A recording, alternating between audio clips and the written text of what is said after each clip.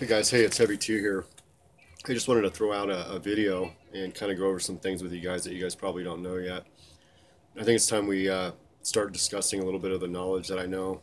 Um, and this is knowledge that um, I, I, really don't know how I know it, but I know it. And um, I'm just going to go ahead and share it with you. And it does have to do with um, what's happening right now with the targeted individuals, um, light workers, things like that. So um, basically, um, I'm gonna start off. They they know who's who's incarnating here. They know um, before the actual soul enters the individual's body. They know exactly what vibration um, it is basically vibrating at, and you know, they using by using the cosmos and um, they use mediums, um, astrology um, mediums that are telepathic, and they can actually map out um, the frequency and the direction of wh where the uh, actual soul is coming from. And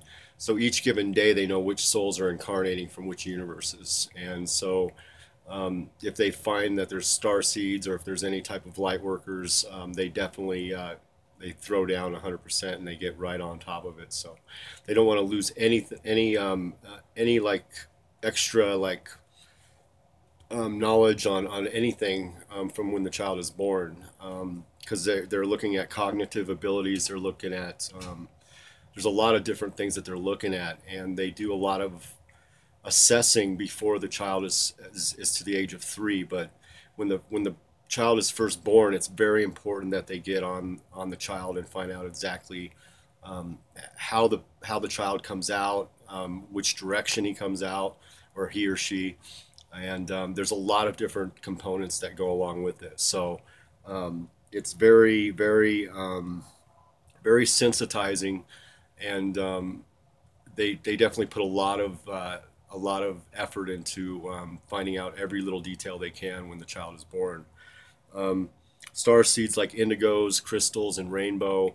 Um, basically, that depends on the decade that the child is born. Like the indigos were, you know, before the 70s, 70s, and before. Um, the indigos were coming in. They were incarnating here in the 60s and 70s mainly. And um, as each one comes through each decade, you know, you got the crystal children that come in through the 80s and 90s. And the crystal children are more powerful than the indigos, and they keep getting more and more powerful. And now we have rainbow children that are that are incarnating right now through the through the 2000s. So, and uh, still incarnating now, and um, they they definitely want to. One of the biggest things they want to do is they want to be able to control the child, and they want to cause trauma to the child. So they want to down, they want to play, bring down their vibration as much as possible. Um, what I what I know is there's three types there's a standard, um, there's a standard um, light worker, there's a super light worker, and there's a mega light worker. Okay, the standard light workers, they what they'll usually implement depending on the cognitive abilities of the individual, um, but usually it'll it'll have some mind control for sure because they want to control that child. They want to make sure that they it doesn't have any type of opportunity to, to kind of mess up their plans and, and anything that they're doing. They want to make sure that they can use that child in their efforts. And so what they'll try to do is they'll use either an MK Ultra program or they'll use a uh, some type of another program. You know, they have a they have Phoenix. They have uh, two other ones that they use with the mind control now, I think, and um, probably two others we don't even know about. You know, um, but they are using those types of programs on these standards.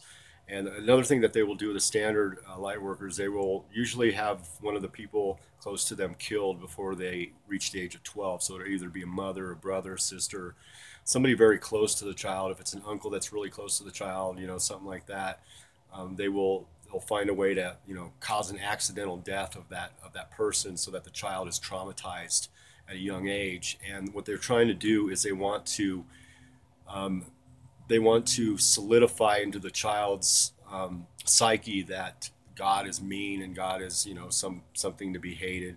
They want to basically cause hatred towards God at an early age. They don't want the God or the child trusting in God. And after the person dies, they'll usually have a handler that's close to the family or somebody who's close within the family um, kind of like coerce that that child and kind of like you know basically validate um, what they what they've already felt um, about God. They'll have a you know some person that'll actually validate it, make it even more um, solidified in their in their beliefs. So anyway, the um, when it gets to the there's no but there's usually no satanic uh, ritual. There's no SRA. Uh, satanic ritual abuse um, that usually goes on with a standard. Um, it usually goes that usually takes place within the super and the mega. So when it gets to super, then what they're going to be doing, they're going to be using obviously the mind control, MK Ultra, but they're also going to use satanic rituals as well, and they're to they're to try to um, create the alters um, within the child, and they're gonna they're basically to invoke demons within those alters in order to change and make the make the alters more powerful. And it also what it helps do too is they can actually it helps them to um, basically wipe the memory as well. If anything happens, if that personality is used um, by invoking the demon, the demon actually can can like basically um, what would you say, kind of wipe clear whatever happened with that alter.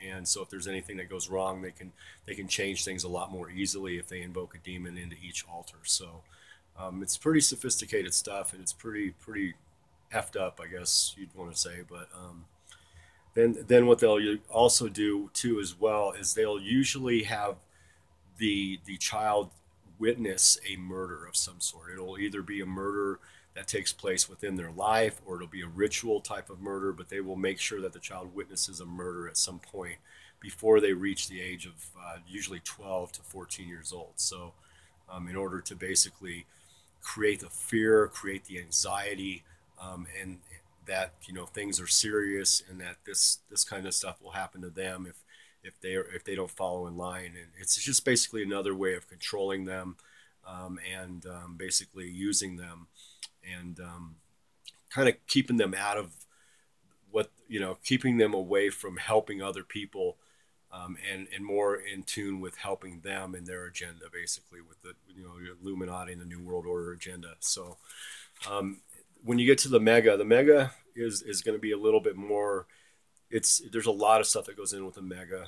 Um, there's a lot of mind control. There's a lot of deception. Um, basically, the kid from the from the day he's born, you know, um, they'll usually create some type of an illness with that child. They'll usually either you know they're stuttering, create a stuttering problem, asthma, some type of medical physical disorder with the child. They want to create that right away so that the kid, you know, is already physically and um, basically physically um, having problems, you know, right off the bat physically. And also mentally, they'll create the trauma. They'll have the SRA in that satanic ritual abuse. They also have the MK Ultra or the mind control programs introduced, and they will also have some type of a murder occur.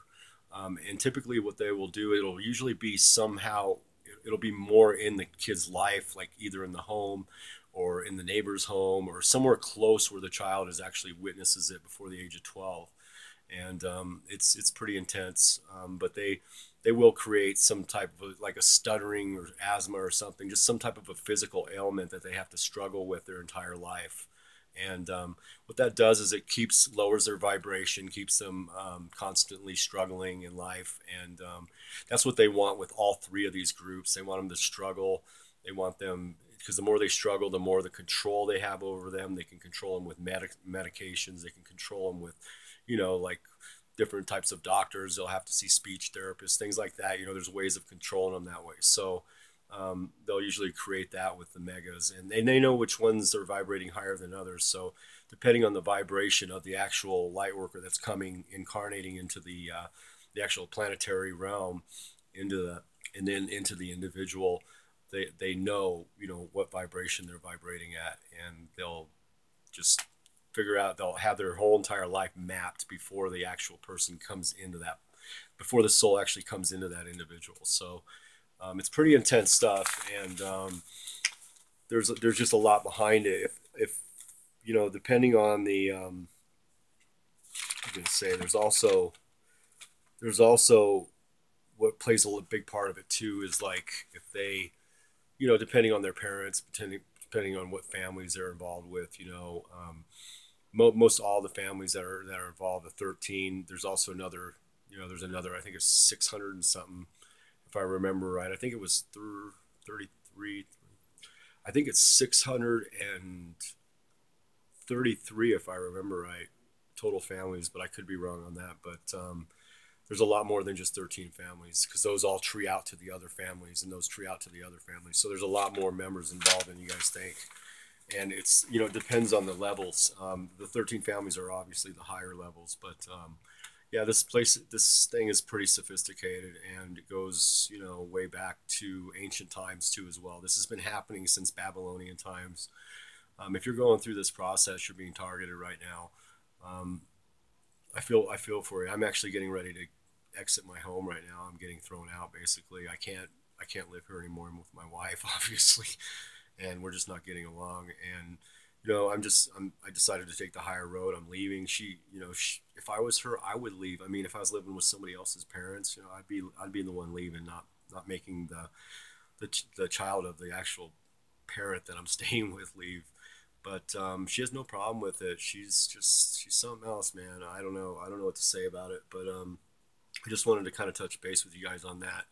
Um, I'll be sharing more with you guys later on, but um, yeah, there's a lot to this stuff, and I'm gonna try to like release a little bit more and more. I'm just kind of like trying to like kind of trying to put it down in, in a type of format where you guys can understand it and, and in, in a way that you guys can comprehend what's what's actually going on versus you know just spewing a bunch of nonsense out at you guys.